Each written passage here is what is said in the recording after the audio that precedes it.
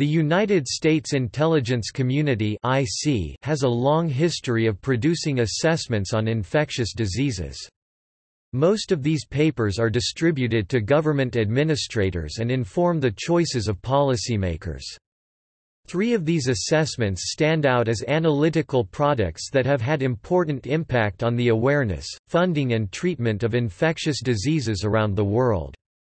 The first paper is the National Intelligence Estimate on the Global Infectious Disease Threat, the second paper is the Assessment on the Next Wave of HIV, AIDS, and the third paper was the Assessment on SARS. This page summarizes the findings of these three papers and provides information about their impact.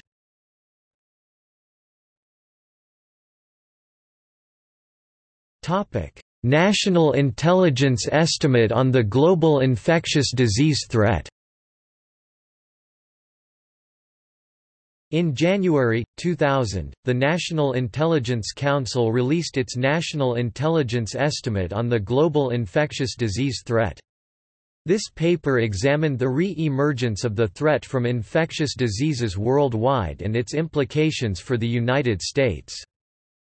It stated that infectious diseases were a leading cause of death, accounting for a quarter to a third of the estimated 54 million deaths worldwide in 1998, and that the spread of infectious diseases results as much from changes in human behavior including lifestyles and land use patterns, increased trade and travel, and inappropriate use of antibiotic drugs, as from mutations in pathogens, additionally, the paper found that new and re-emerging infectious diseases will pose a rising global health threat and will complicate U.S. and global security over the next 20 years.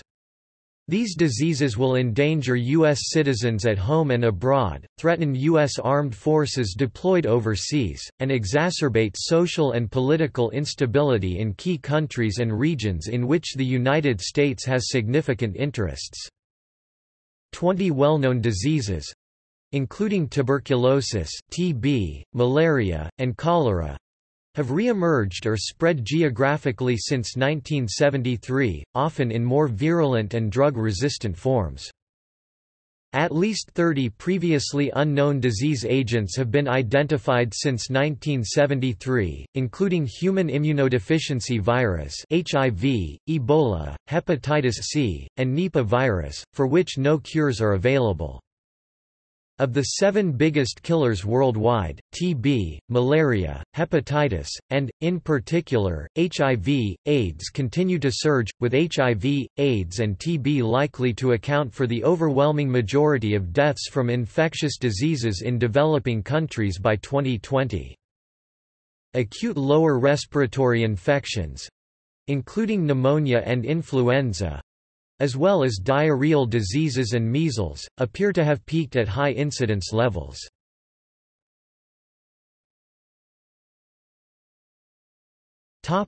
Regional trends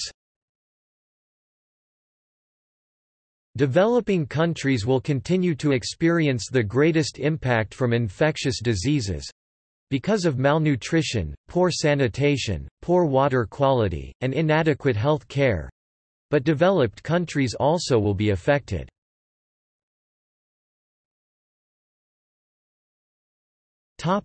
Impact within the United States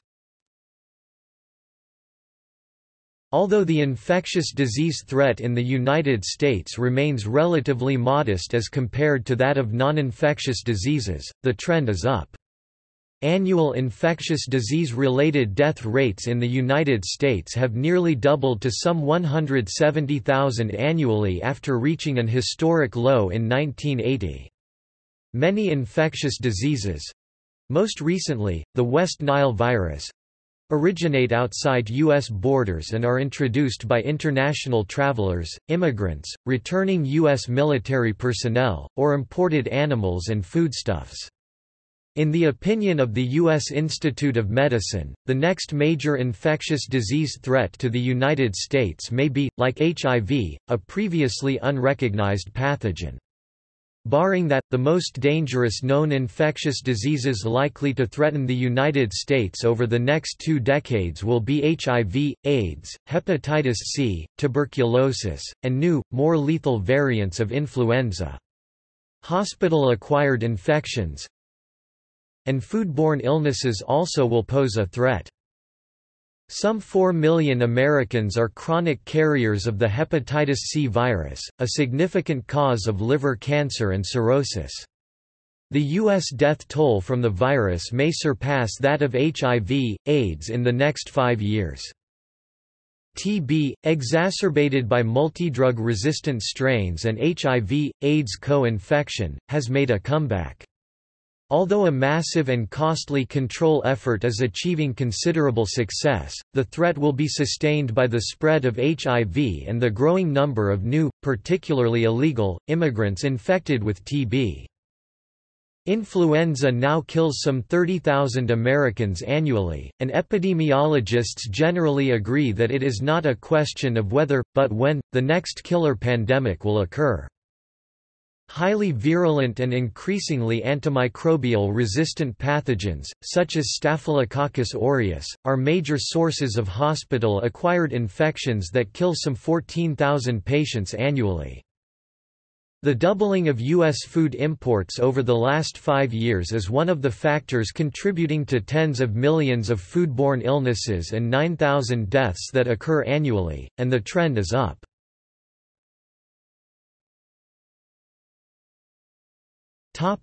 Sub-Saharan Africa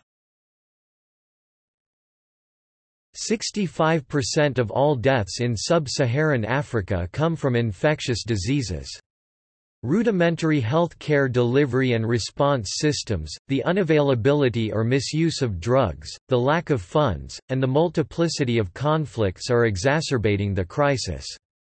Investment in health care in the region is minimal, less than 40% of the people in countries such as Nigeria and the Democratic Republic of the Congo (DRC) have access to basic medical care, and even in relatively well-off South Africa, only 50 to 70% have such access, with black populations at the low end of the spectrum. It will remain the most vulnerable region. The death rates for many diseases, including HIV, AIDS and malaria, exceed those in all other regions. Sub-Saharan Africa's health care capacity—the poorest in the world—will continue to lag. Sub-Saharan Africa also has an estimated 90% of the global malaria burden. Cholera, dysentery, and other diarrheal diseases also are major killers in the region, particularly among children, refugees, and internally displaced populations. 40% of all childhood deaths from diarrheal diseases occur in sub-Saharan Africa. The region also has a high rate of hepatitis B and C infections and is the only region with a perennial meningococcal meningitis problem in a meningitis belt, stretching from west to east. Sub-Saharan Africa also suffers from yellow fever, while trypanosomiasis or sleeping sickness is making a comeback in the DROC and Sudan, and the Marburg virus also appeared in DRC for the first time in 1998. Ebola hemorrhagic fever strikes sporadically in countries such as the DRC, Gabon, Côte d'Ivoire, and Sudan.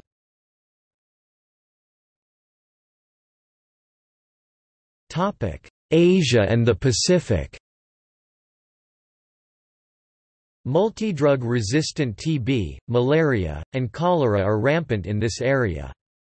The spread of HIV, AIDS, with its immunosuppression, will lead to a dramatic increase in infectious disease deaths. By 2010, the region could surpass Africa in the number of HIV infections, although the more developed countries of Asia and the Pacific, such as Japan, South Korea, Australia, and New Zealand, have strong records in combating infectious diseases. Infectious disease prevalence in South and Southeast Asia is almost as high as in sub Saharan Africa. The health care delivery system of the Asia and Pacific region, the majority of which is privately financed, is particularly vulnerable to economic downturns even though this is offset to some degree by much of the region's reliance on traditional medicine from local practitioners. In South and Southeast Asia, re-emergent diseases such as TB, malaria, cholera, and dengue fever are rampant, while HIV, AIDS, after a late start, is growing faster than in any other region. TB caused 1 million deaths in the Asia and Pacific region in 1998, more than any other single disease, with India and China accounting for two-thirds of the total. Several million new cases occur annually, most in India, China and Indonesia, representing as much as 40% of the global TB burden. HIV, AIDS is increasing dramatically, especially in India, which leads the world in absolute numbers of HIV, AIDS infections, estimated at 3 to 5 million. China is better off than most of the countries to its south, but it too has a growing AIDS problem, with HIV infections variously estimated at 100,000 to 4 million, and spreading rapidly. Region-wide, the number of people infected with HIV could overtake sub-Saharan Africa in absolute numbers before 2010.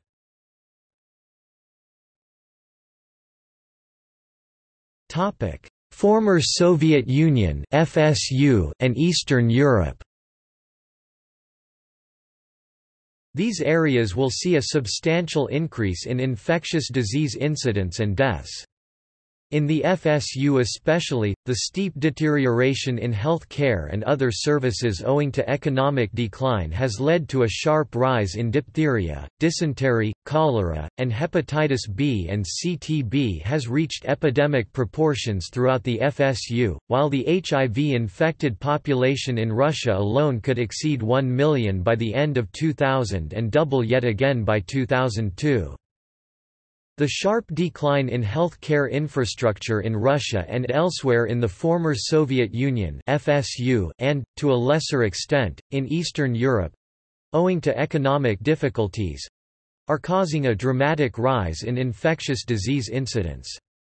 Death rates attributed to infectious diseases in the FSU increased 50% from 1990 to 1996, with TB accounting for a substantial number of such deaths.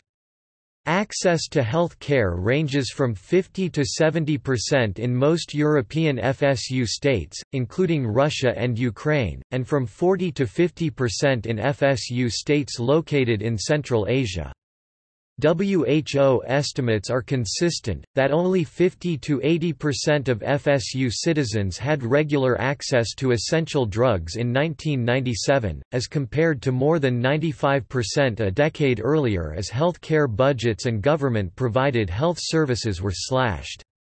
Health care access is better in Eastern Europe, particularly in more developed states such as Poland, the Czech Republic, and Hungary, where it ranges from 70 to 90%, while only 50 to 70% have access in countries such as Bulgaria and Romania.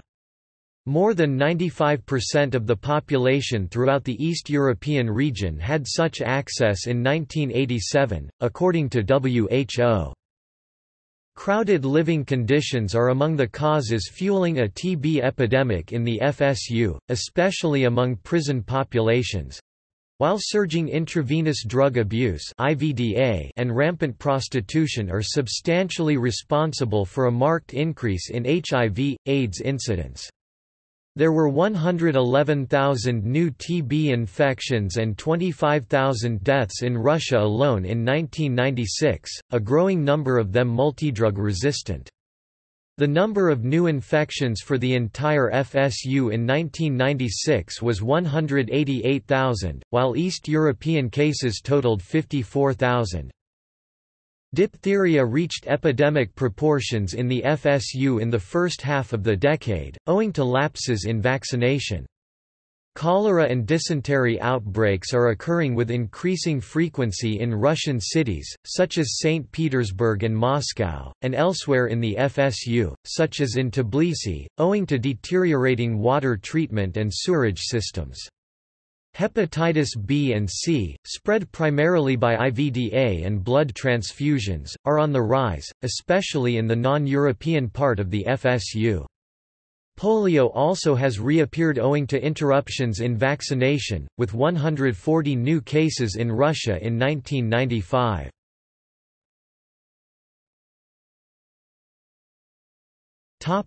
Latin America There is distinct progress in infectious disease control in this region, including the eradication of polio, but uneven economic development has contributed to widespread resurgence of cholera, malaria, TB, and dengue. These diseases will continue to take a heavy toll in tropical and poorer countries. Latin American countries are making considerable progress in infectious disease control, including the eradication of polio and major reductions in the incidence and death rates of measles, neonatal tetanus, some diarrheal diseases, and acute respiratory infections. Nonetheless, infectious diseases are still a major cause of illness and death in the region, and the risk of new and re-emerging diseases remains substantial. Widening income disparities, periodic economic shocks, and rampant urbanization have disrupted disease control efforts and contributed to widespread reemergence of cholera, malaria, TB, and dengue, especially in the poorer Central American and Caribbean countries and in the Amazon basin of South America. According to the AFMIC typology, Latin America's health care capacity is substantially more advanced than that of sub-Saharan Africa and somewhat better than mainland Asia's, with 70–90% of populations having access to basic health care in Chile, Costa Rica, and Cuba on the upper end of the scale. Less than 50% have such access in Haiti, most of Central America, and the Amazon basin countries, including the rural populations in Brazil. Cholera reemerged with a vengeance in the region in 1991 for the first time in a century with 400,000 new cases, and while dropping to 100,000 cases in 1997, it still comprises two thirds of the global cholera burden. TB is a growing problem region-wide, especially in Brazil, Peru, Argentina, and the Dominican Republic where drug-resistant cases also are on the rise. Haiti does not provide data but probably also has a high infection rate.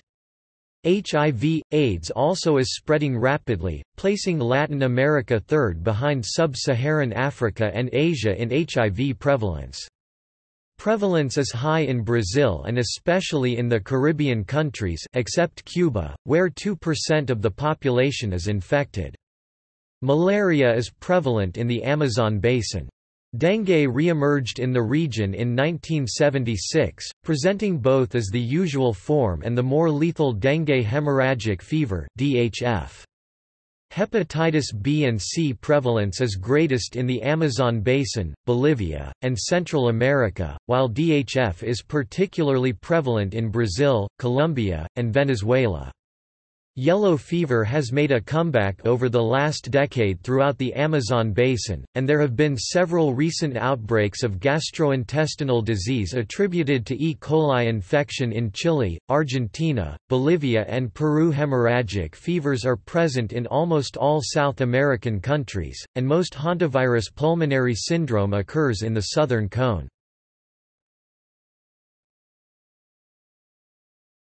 Topic: the Middle East and North Africa region has substantial TB and hepatitis B and C prevalence, but conservative social mores, climatic factors, and the high level of health spending in the oil-producing states tend to limit some globally prevalent diseases, such as HIV, AIDS and malaria.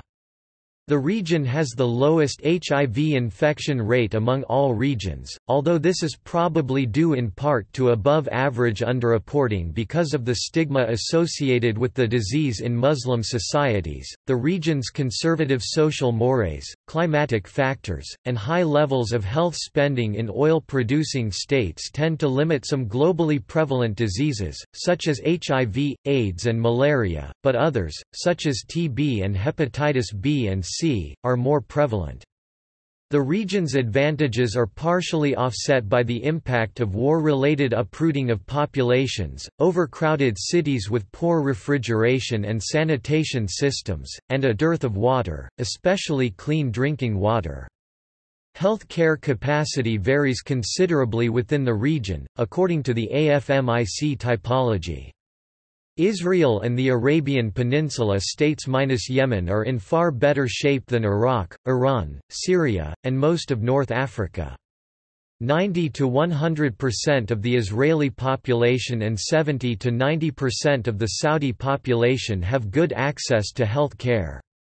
Elsewhere, access ranges from less than 40% in Yemen to 50 to 70% in the smaller Gulf states, Jordan and Tunisia, while most North African states fall into the 40 to 50% category.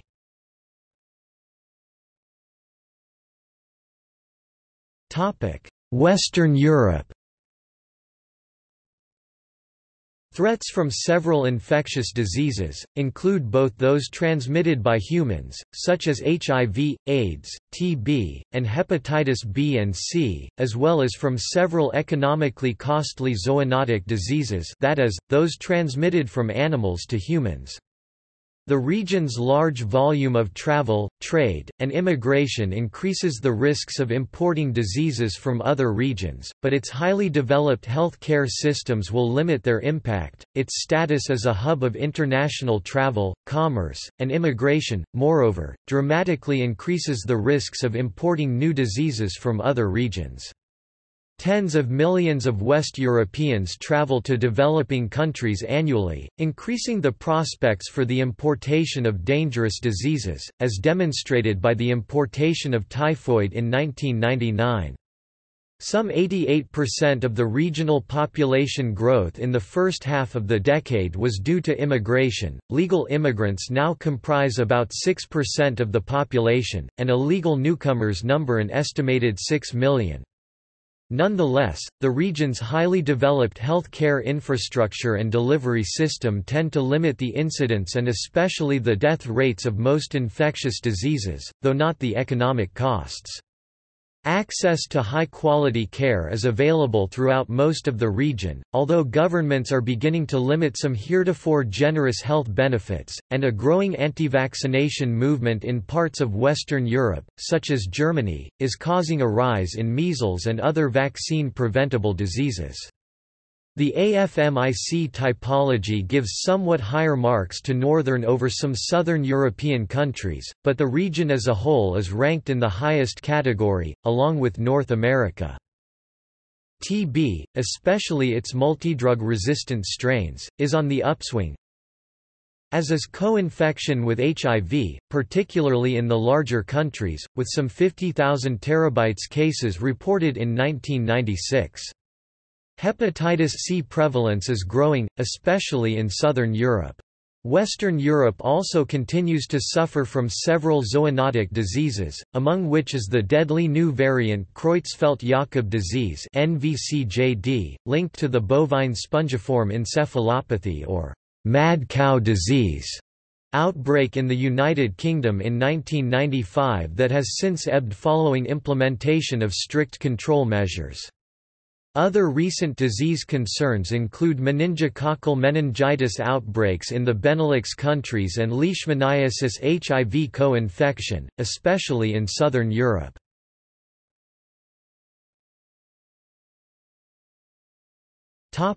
Response capacity Development of an effective global surveillance and response system probably is at least a decade or more away, owing to inadequate coordination and funding at the international level and lack of capacity, funds, and commitment in many developing and former communist states. Although overall global healthcare capacity has improved substantially in recent decades, the gap between rich and poorer countries in the availability and quality of health care in most poorer countries, health care ranging from basic pharmaceuticals and postnatal care to costly multidrug therapies remains very limited. Market forces drive private pharmaceutical companies, and many developed country government research programs, to focus on drugs needed in their environment, not necessarily those of the poorer countries. This is generating a growing controversy between rich and poorer nations over such issues as intellectual property rights, as some developing countries make their own copies, not always with permission, of drugs under patent protection. Developing countries also are less willing to make microbial samples available to companies that will make commercial vaccines from them, which may be too costly for the country that provided the sample. A global composite measure of healthcare infrastructure devised by DIA's Armed Forces Medical Intelligence Center (AFMIC) assesses factors such as the priority attributed to health care, health expenditures, the quality of health care delivery and access to drugs drugs, and the extent of surveillance and response systems. A major obstacle to effective global surveillance and control of infectious diseases will continue to be the quality of national health statistical reporting by many developing countries and lack of follow-through to properly direct aid and to follow recommended health care practices. Those areas of the world most susceptible to infectious disease problems are least able to develop and maintain the sophisticated and costly communications equipment needed for effective disease surveillance and reporting. In addition to the barriers dictated by low levels of development, revealing a disease outbreak may harm national prestige, commerce, and tourism. For example, nearly every country initially denied or minimized the extent of the HIV, AIDS virus within its borders, and even today, some countries known to have significant rates of HIV infection refuse to cooperate with WHO. Only a few, such as Uganda, Senegal, and Thailand, have launched major preventative efforts, while many WHO members do not even endorse AIDS education in schools. Similarly, some countries deny the existence of cholera within their borders. Aid programs to prevent and treat infectious diseases in developing countries depend largely on indigenous health workers for their success and cannot be fielded effectively in their absence. Training indigenous workers appears more effective than educating the general public of these countries. International organizations such as WHO and the World Bank, institutions in several developed countries such as the U.S. Centers for Disease Control and Prevention, and non-governmental organizations NGOs will continue to play an important role in strengthening both international and national surveillance and response systems for infectious diseases. Development of an integrated global surveillance and response system probably is at least a decade or more away. This owes to the magnitude of the challenge, inadequate coordination at the international level, and lack of funds, capacity, and, in some cases, cooperation and commitment at the national level. Some countries hide or understate their infectious disease problems for reasons of prestige and fear of economic losses. Total international health-related aid to low and middle-income countries—some $2–3 billion annually, remains a fraction of the $250 billion health bill of these countries. WHO has the broadest health mandate under the UN system, including setting priorities, coordinating global health surveillance, and emergency assistance in the event of disease outbreaks. Health experts give WHO credit for major successes, such as the eradication of smallpox, near eradication of polio, and substantial progress in controlling childhood diseases, and in expanding primary health care in developing countries. WHO defenders blame continued member state parsimony that has kept WHO's regular biennial budget to roughly $850 million for several years and forced it to rely more on voluntary contributions that often come with strings attached as the cause of its shortcomings. This situation led to lack of focus at the top level as well as overly optimistic forecasts. The 1998 election of Gro Harlem Brundtland as Secretary-General, along with a series of reforms, including expansion of the emerging and other communicable diseases surveillance and control division, has placed WHO in a better position to revitalize itself. Internal oversight and transparency have been expanded, programs and budgets are undergoing closer scrutiny, and management accountability is looming larger. Brundtland has moved quickly to revitalize top management, mostly from outside the organization, including from the private sector. She also strengthened country offices and to make the regional offices more responsive to central direction. WHO is increasing its focus on the fight against resurgent malaria, while a better funded EMC is expanding efforts to establish a global surveillance and response system in cooperation with UNAIDS, UNICEF, and national entities such as the US CDC, the US DoD, and France's Pasteur Institute. Margaret Chan, the current Director General, is still being assessed. There were questions about her performance as Chief of Public Health for Hong Kong. WHO competes for resources with other UN agencies that are involved in health care. The United Nations Children's Fund UNICEF focuses on children's health. The United Nations AIDS Programme UNAIDS focuses on improving the response capacity toward HIV, AIDS at the country, regional, and global levels in cooperation with other UN agencies. Other UN agencies involved in health care issues include the UN Development Programme (UNDP), the UN Family Planning Agency (UNFPA), the UN High Commissioner for Refugees (UNHCR), the UN Educational, Scientific and Cultural Organization (UNESCO), the International Labour Organization (ILO), the Food and Agricultural Organization (FAO), and the World Food Programme (WFP).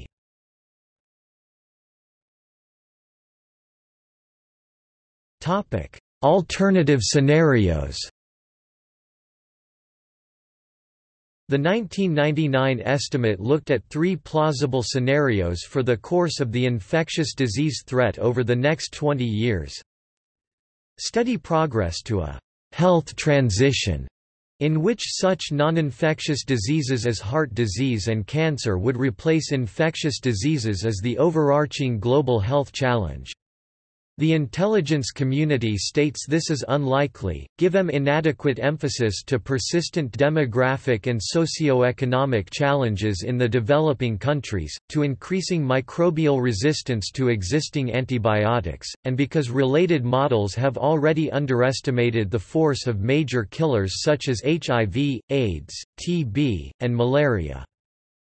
Progress stymied is a more pessimistic and more plausible Scenario projects little or no progress in countering infectious diseases over the duration of this estimate. Under this scenario, HIV, AIDS reaches catastrophic proportions as the virus spreads throughout the vast populations of India, China, the former Soviet Union, and Latin America, while multidrug treatments encounter microbial resistance and remain prohibitively expensive for developing countries. Multidrug-resistant strains of TB, malaria, and other infectious diseases appear at a faster pace than new drugs and vaccines, wreaking havoc on world health. Although more likely than the «steady progress» scenario, the IC judges this unlikely, because it is overoptimistic about the prospect of development, collaboration, and medical advances to constrain the spread of at least some widespread infectious diseases. Deterioration, then limited improvement, is judged most likely by the IC.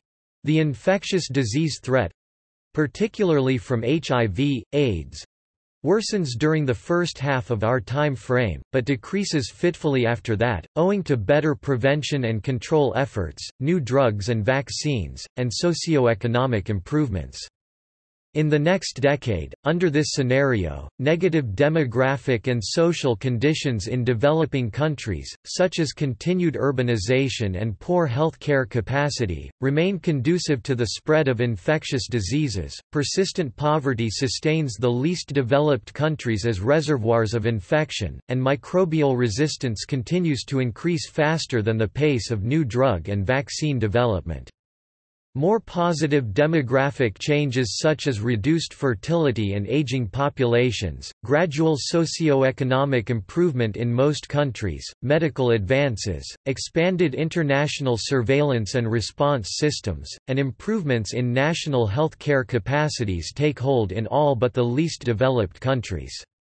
Barring the appearance of a deadly and highly infectious new disease, a catastrophic upward lurch by HIV, AIDS, or the release of a highly contagious biological agent capable of rapid and wide-scale secondary spread, these developments produce at least limited gains against the overall infectious disease threat. The remaining virulent diseases, led by HIV, AIDS and TB, continue to take a significant toll.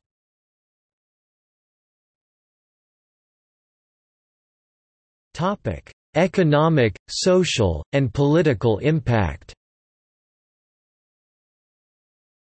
The persistent infectious disease burden is likely to aggravate and, in some cases, may even provoke economic decay, social fragmentation, and political destabilization in the hardest hit countries in the developing and former communist worlds, especially in the worst-case scenario outlined above, the economic costs of infectious diseases—especially HIV, AIDS and malaria, are already significant, and their increasingly heavy toll on productivity, profitability, and foreign investment will be reflected in growing GDP losses, as well, that could reduce GDP by as much as 20% or more by 2010 in some sub-Saharan African countries. According to recent studies, some of the hardest hit countries in sub-Saharan Africa and possibly later in South and Southeast Asia will face a demographic upheaval as HIV, AIDS and associated diseases reduce human life expectancy by as much as 30 years and kill as many as a quarter of their populations over a decade or less,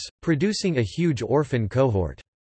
Nearly 42 million children in 27 countries will lose one or both parents to AIDS by 2010. 19 of the hardest hit countries will be in sub Saharan Africa. The relationship between disease and political instability is indirect but real. A wide-ranging study on the causes of state instability suggests that infant mortality a good indicator of the overall quality of life correlates strongly with political instability, particularly in countries that already have achieved a measure of democracy. The severe social and economic impact of infectious diseases is likely to intensify the struggle for political power to control scarce state resources. As a major hub of global travel, immigration, and commerce with wide-ranging interests and a large civilian and military presence overseas, the United States and its equities abroad will remain at risk from infectious diseases. Emerging and re-emerging infectious diseases, many of which are likely to continue to originate overseas, will continue to kill at least 170,000 Americans annually. Many more could perish in an epidemic of influenza or yet unknown disease or if there is a substantial decline in the effectiveness of available HIV, AIDS drugs. Infectious diseases are likely to continue to account for more military hospital admissions than battlefield injuries.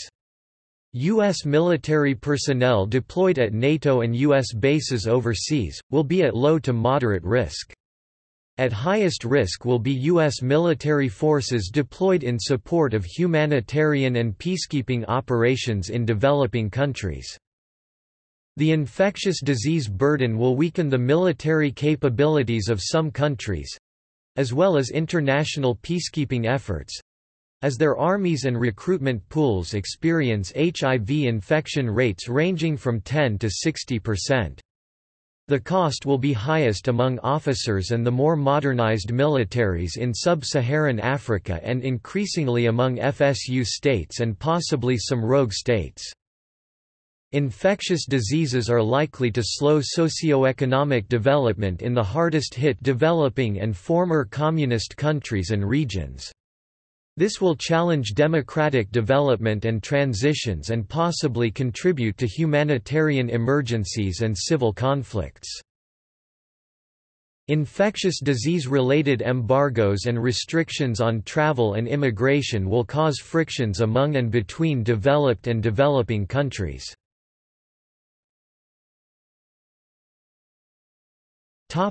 Intelligence Community Assessment on the Next Wave of HIV, AIDS In July, 2002, the National Intelligence Council released the Intelligence Community Assessment on the Next Wave of HIV, AIDS. This paper examined HIV epidemics in five countries of strategic importance to the United States that have large populations at risk for HIV infection Nigeria, Ethiopia, Russia, India, and China. The five countries were selected because they were among the world's most populous countries, together representing over 40% of the world population.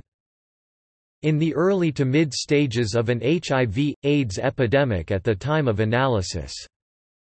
Led by governments that have not yet given the issue the sustained high priority that has been key to stemming the tide of the disease in other countries, the paper concluded that HIV, AIDS is spreading at different rates in the five countries, with the epidemic the most advanced in Nigeria and Ethiopia. In all countries, however, risky sexual behaviors are driving infection rates upward at a precipitous rate. Adult prevalence rates, the total number of people infected as a percentage of the adult population are substantially lower in Russia, India, and China, where the disease remains concentrated in high-risk groups, such as IVDA in Russia and people selling blood plasma in China, where some villages have reported 60% infection rates. Nevertheless, the disease is spreading to wider circles through heterosexual transmission in India, the movement of infected migrant workers in China, and frequent prison amnesty releases of large numbers of infected prison inmates and rising prostitution in Russia. It will be difficult for any of the five countries to check their epidemics by 2010 without dramatic shifts in priorities. The disease has built up significant momentum, health services are inadequate, and the cost of education and treatment programs will be overwhelming. Government leaders will have trouble maintaining a priority on HIV, AIDS which has been key to stemming the disease in Uganda, Thailand, and Brazil because of other pressing issues and the lack of AIDS advocacy groups. The governments of Nigeria, India, and China are beginning to focus more attention on the HIV, AIDS threat. Even if the five next wave countries devote more resources to HIV, AIDS programs, implementation is likely to miss significant portions of the population, given weak or limited government institutions and uneven coordination between local and national levels. Nigeria and Ethiopia have very limited public services to mobilize. Russia is beset by other major public health problems. China has decentralized most responsibility for health and education issues to local governments that often are corrupt. India has taken some steps to improve its healthcare infrastructure to combat HIV, AIDS, but the government has few resources to treat existing infections and must cope with other major health problems such as tuberculosis (TB), which has become linked to the spread of HIV, AIDS. The rise of HIV, AIDS in the next wave countries is likely to have significant economic, social, political, and military implications. The impact will vary substantially among the five countries, however, because of differences among them in the development of the disease, likely government responses, available resources, and demographic profiles. Nigeria and Ethiopia will be the hardest hit, with the social and economic impact similar to that in the hardest hit countries in southern and central Africa, decimating key government and business elites, undermining growth, and discouraging foreign investment. Both countries are key to regional stability, and the rise in HIV, AIDS will strain their governments. In Russia, the rise in HIV, AIDS will exacerbate the population decline and severe health problems already plaguing the country, creating even greater difficulty for Russia to rebound economically. These trends may spark tensions over spending priorities and sharpen military manpower shortages. HIV, AIDS will drive up social and healthcare costs in India and China, but the broader economic and political impact is likely to be readily absorbed by the huge populations of these countries. We do not believe the disease will pose a fundamental threat through 2010 to their status as major regional players, but it will add to the complex problems faced by their leaders. The more HIV, AIDS spreads among young, educated, urban populations, the greater the economic cost of the disease will be for these countries, given the impact on, and the need for, skilled labor. The growing AIDS problem in the next wave countries probably will spark calls for more financial and technical support from donor countries. It may lead to growing tensions over how to disburse international funds, such as the Global Fund for AIDS, TB and malaria.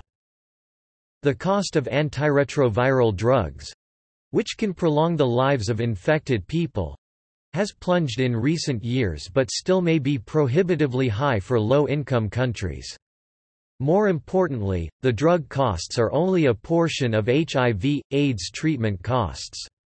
Drug-resistant strains are likely to spread because of the inconsistent use of antiretroviral therapies and the manufacture overseas of unregulated, substandard drugs. If an effective vaccine is developed in the coming years, Western governments and pharmaceutical companies will come under intense pressure to make it widely available. The next wave countries are likely to seek greater U.S. technical assistance in tracking and combating the disease. According to UNAIDS, Asia alone is likely to outstrip sub Saharan Africa in the absolute number of HIV carriers by 2010.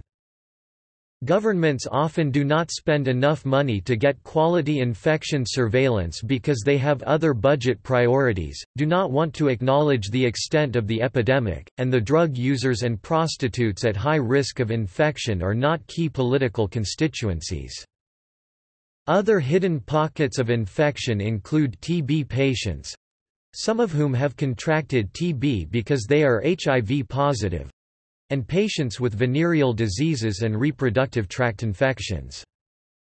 It is difficult to get data on HIV prevalence rates in foreign military ranks, which harbor significant numbers of infected men. Even if testing is available, many people do not get tested because of denial, stigma, discrimination, or resignation.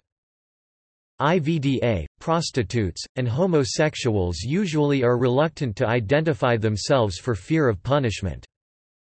Some avoid testing when health care and treatment for the disease is unavailable.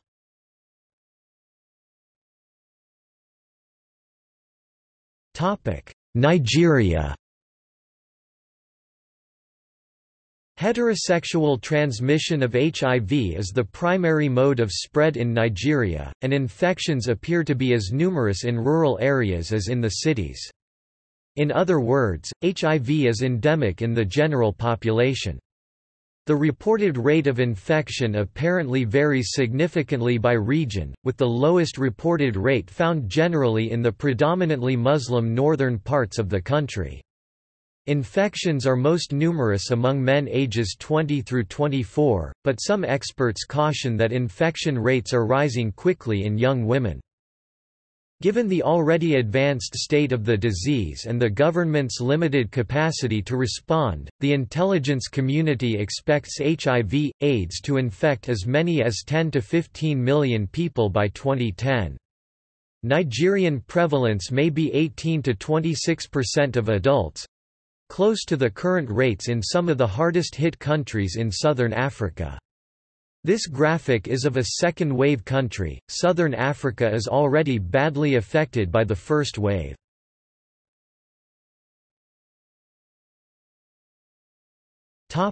Ethiopia. Ethiopia is estimated to have the highest adult prevalence rate, between 10 and 18 percent, was the highest among the five countries. This reflects two social effects. Like Nigeria, the disease has moved into the general population, Unlike the other countries, the effects of war have a significant effect on spread. Another surge of infections may be underway from the 150,000 demobilized soldiers over the last two years as the conflict with Eritrea has wound down. More troops will be sent home as the border dispute is settled. As soldiers demobilize, prostitutes who have even higher rates of infection disperse around the country as well. The figure to the right shows prevalence at prenatal clinics, which appears to be the best single indicator. Expert estimates the actual number of HIV patients may be between 3 and 5 million. Adult prevalence is much higher in cities 13 to 20% than in rural areas 5%. Heterosexual transmission is the primary mode of spread, and people with multiple partners, especially those with sexually transmitted diseases STDs and prostitutes have significantly higher infection rates. Unlike conditions in other next-wave countries, war has significantly contributed to the spread of the disease in Ethiopia. Many soldiers contracted HIV, AIDS during the Civil War in the 1980s by having contact with multiple sex partners. When the war ended in 1991, thousands of infected soldiers and prostitutes returned home, spreading HIV, AIDS in their villages and towns.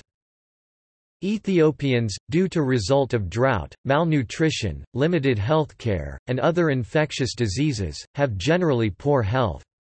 In the HIV seropositive group, this has caused HIV to progress rapidly to AIDS.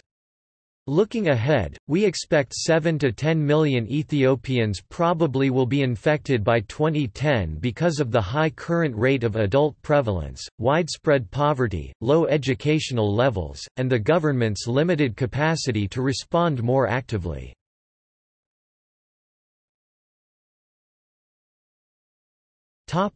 Russia Each country in the second wave have different social factors causing increased spread. HIV has not yet made a move into the general populations of some countries, such as Russia. The single social factor 80 to 90% of new cases for Russian spread is IVDA, coming from prostitutes and prison inmates—many of whom are IVDAs—are contributing to the spread of the disease.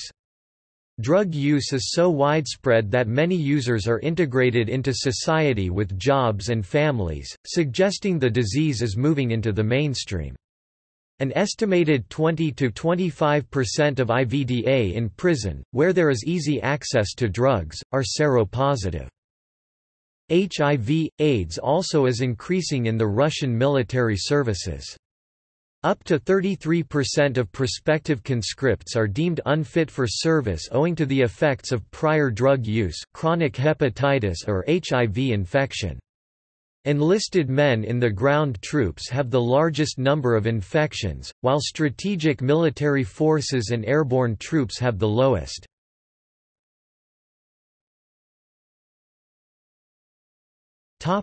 India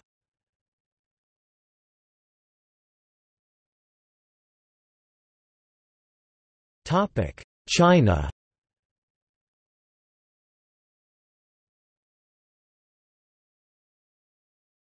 Topic: Intelligence Community Assessment on Severe Acute Respiratory Syndrome.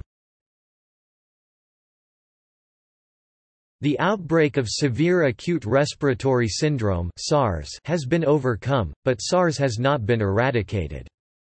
Although WHO declared on 5 July 2003 that all transmission chains of SARS had been broken, many health experts fear it could return again. We remain vulnerable.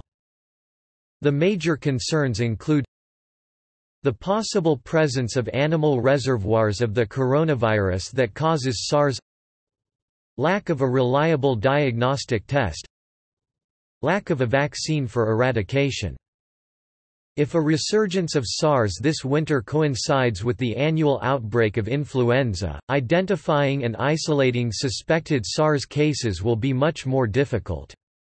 SARS also could mutate, altering the symptoms, transmissibility, or lethality of the disease.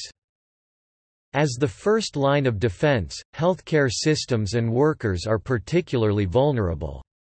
Moreover, most wealthy countries have little recent experience implementing large-scale quarantine and isolation programs, and poor countries already have inadequate health surveillance and infection control procedures. The emergence of SARS illustrates the challenge of battling infectious diseases in an increasingly globalized world. Global links have sped the geographic spread of the disease and amplified the economic and political impact.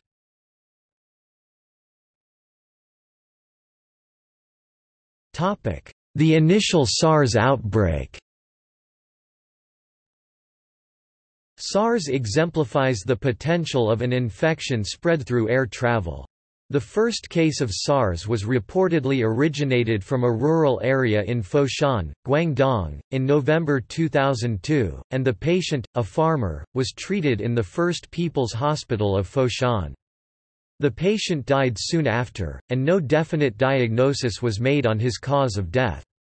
China delayed reporting this to international health organizations, and SARS spread beyond China, outside China. The first clue of the outbreak appears to be November 27, 2002, when Canada's Global Public Health Intelligence Network (GPHIN), an electronic warning system that is part of the World Health Organization's (WHO) Global Outbreak and Alert Response Network (GOARN), picked up reports of a flu outbreak in China through Internet media monitoring and analysis and sent them to the WHO. Subsequently, the WHO requested information from Chinese authorities on December 5 and 11. Importantly, while GPHIN's capability had recently been upgraded to enable Arabic, Chinese, English, French, Russian and Spanish translation, the system was limited to English or French in presenting this information. Thus, while the first reports of an unusual outbreak were in Chinese, an English report was not generated until January 21, 2003. In late April, revelations occurred as the PRC government admitted to underreporting the number of cases of SARS due to the problems inherent in the healthcare system. Dr. Jiang Yanyong exposed the cover-up that was occurring in China, at great personal risk. A number of PRC officials were fired from their posts, including the health minister and mayor of Beijing, and systems were set up to improve reporting and control in the SARS crisis. Since then, the PRC has taken a much more active and transparent role in combating the SARS epidemic.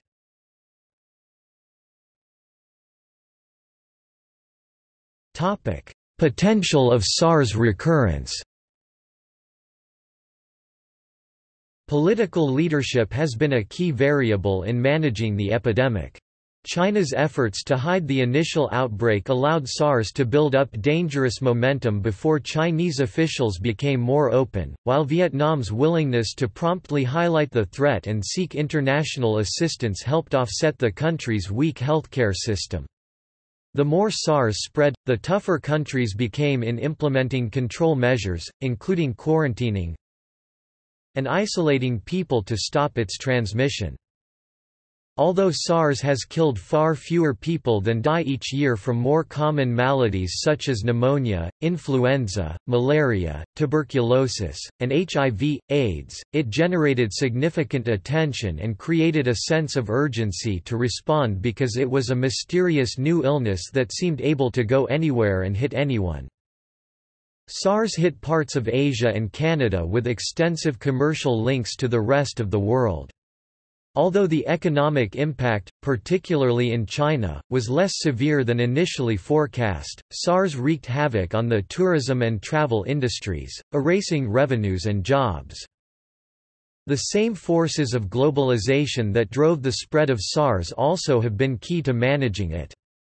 Modern advances in communication, science, and travel almost certainly helped alert people more quickly to the disease, facilitated a stronger national and international response, and sped research efforts to help contain the disease. The intense focus on SARS has opened a window of opportunity for the United States and the WHO to pursue longer term bilateral and multilateral cooperation on health issues.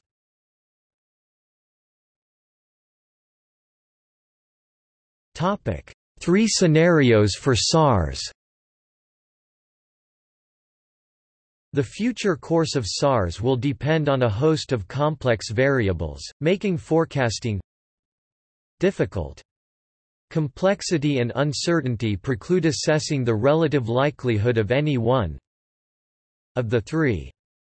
SARS, even in a developed country, demands extremely careful nursing practices to avoid having the disease spread by medical personnel, according to WHO. Countries that lack the necessary respirators and other barrier nursing equipment can risk spread. The first scenario is, SARS simmers, SARS could resurface but be limited to random outbreaks in a few countries, rendering it more of a public health nuisance than a crisis. Political and economic reverberations still would occur, with some companies and investors looking to reduce their exposure in East Asia, particularly China. The next alternative is that SARS gains a foothold in poor countries, regions. SARS could spread to poor countries in Africa or Asia, potentially generating more infections and deaths than before but with relatively little international economic impact.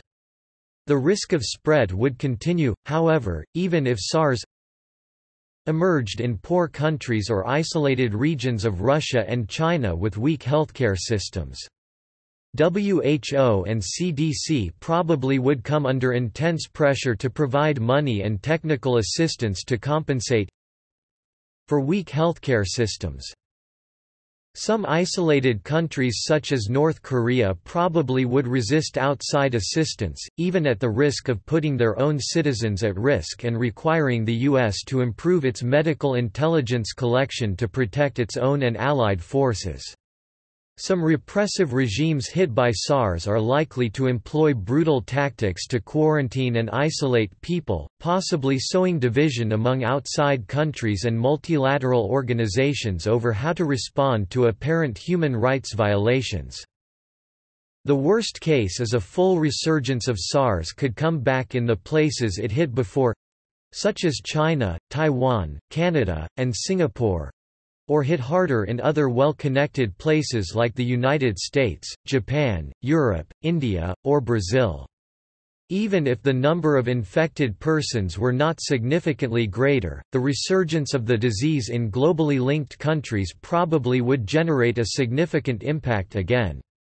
The return of SARS to Asia is likely to cause somewhat less disruption the second time as citizens learn to live with the disease, but more multinational companies probably would reduce their exposure in the region if they concluded that SARS posed a long-term health challenge.